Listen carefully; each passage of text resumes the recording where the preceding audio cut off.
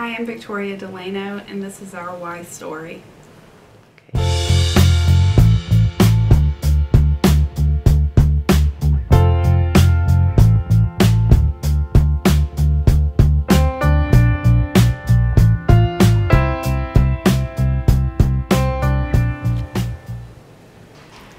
My 12 year old son's name is James, and he has a couple of rare conditions. One is called mitochondrial disease, where the cells in his body don't make enough energy to keep his muscles and organs functioning properly.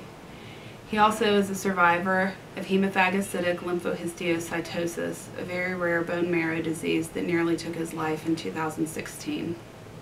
In August of 2016, James was in a coma in the ICU in multi-organ failure. He fought really hard and survived and it took him months but he regained his strength.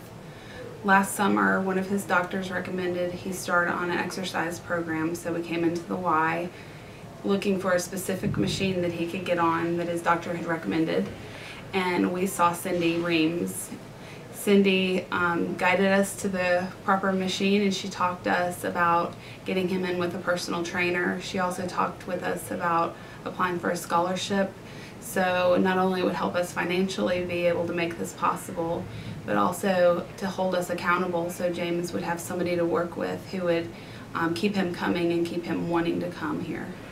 James's cardiologist, who we actually traveled to Toledo, Ohio for this specialist, um, he said that he's going to have James through his adulthood because he sees pediatric patients and adult patients and that he didn't want to be stuck with the problems that all the pediatricians create in James's body from all of his treatments. He wants to make sure that he gets through all of his treatments strong as he possibly can.